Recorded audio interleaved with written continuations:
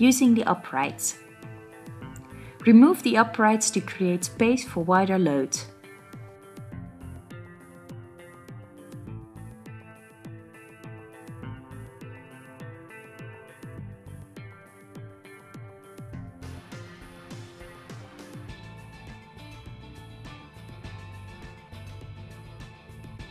Krone trailers. The upright's handle should be in the correct position to loosen or fix the upright. The upright's position is correct when the upright handle is in a 135 degree angle.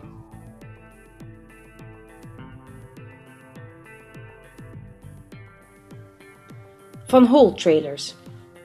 Lift the roof to allow easier operation of the uprights. When the roof is lifted, it is easier to slide the upright to the back and take it out.